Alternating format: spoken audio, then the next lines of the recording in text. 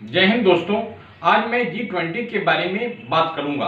G twenty विश्व की अग्रणी अर्थव्यवस्थाओं और यूरोपीय संघ की 19 का समूह है। यह विश्व की अग्रणी अर्थव्यवस्था वाले देशों को यूरोपीय संघ के साथ मिलाता है। इसके सदस्य देशों की कुल जीडीपी विश्व जीडीपी की 80 प्रतिशत है और विश्व व्यापार का 75 परसेंट है। इसके सदस्य देशों की कुल आबादी में, कुल आबादी, विश्व की कुल आबादी में 60 प्रतिशत की हिस्सेदारी है। जी ट्वेंटी, विश्व की विकसित अर्थव्यवस्था और प्रमुख विकासशील अर्थव्यवस्था का अंतर सरकारी समूह है।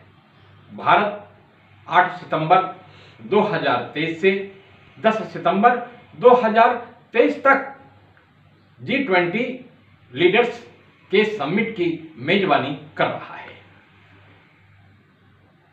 1 दिसंबर 2022 से 30 नवंबर 2023 तक जी ट्वेंटी की अध्यक्षता भारत के अंतर्गत होगी। जी ट्वेंटी के फाउंडिंग मेंबर होने के रूप में भारत दुनिया भर के कमज़ोर लोगों को प्रभावित करने वाले मुद्दों को उठाने में इस मंच का उपयोग किया है। अब भारत की सबसे बड़ी ज़िम्मेदारी होगी कि जी ट्वेंटी के विचारों और लक्ष्यों को रक्षा करने के साथ साथ भू राजनीतिक मतभेदों के चलते इसे विखंडित होने से बचाने की है। भारत ऐसे समय में जी ट्वेंटी की मेजबानी कर रहा है, जब अंतर्राष्ट्रीय राजनीति में तेज़ी से बदलाव आया है। रूस यूक्रेन युद्ध के में भारत की तटस्थ नीति के चलते अमेरिका और पश्चिमी देशों में मतभेद उभर कर सामने आए हैं।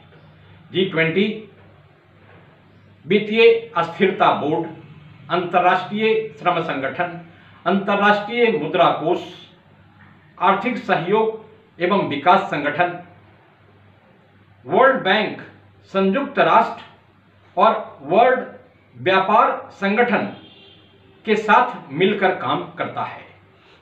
अन्य संगठनों को भी जी ट्वेंटी की महत्वपूर्ण बैठक में हिस्सा लेने के लिए आमंत्रित किया जाता है। भारत जी ट्वेंटी प्राथमिकताओं के मज़बूत करने की प्रक्रिया में है। चल रही बातचीत न्याय संगत समावेशी सतत विकास, लाइफ, महिला सशक्तिकरण, डिजिटल सार्वजनिक बुनियादी ढांचे और तकनीक के इर्द गिर्द घूमती है। एक प्रमुख विकासशील देश के रूप में अंतर्राष्ट्रीय आर्थिक और वित्तीय प्रणाली की अस्थिरता में भारत की महत्वपूर्ण हिस्सेदारी है। जी ट्वेंटी के अन्य मुद्दे जैसे आतंकवाद के विरोध में सहयोग, खाद्य सुरक्षा ऊर्जा सुरक्षा डब्ल्यूटीओ में सुधार, आर्थिक अस्थिरता जैसे मुद्दे को विश्व के कई देशों के बीच एक मत निर्णय का निर्माण करने में भारत हमेशा से प्रगतिशील रहा है। जी ट्वेंटी का लोगो में कमल और वसुधैव कुटुंबकम चित्रित है। विश्व इस सदी में विनाशकारी महामारी, संघर्षों, बहुत सारी आर्थिक अनिश्चितताओं के बाद के प्रभाव से गुजर रहा है। ऐसे में जी ट्वेंटी लोगों में कमल एक आशा का प्रतिनिधित्व करता है।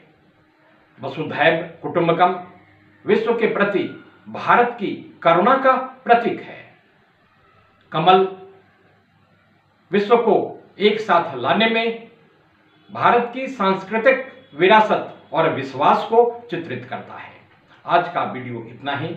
मैं Upendra Kumar Sinha, retired senior, bank auditor और पेशे से वकील। आप इस वीडियो को लाइक, सब्सक्राइब और शेयर करें। धन्यवाद।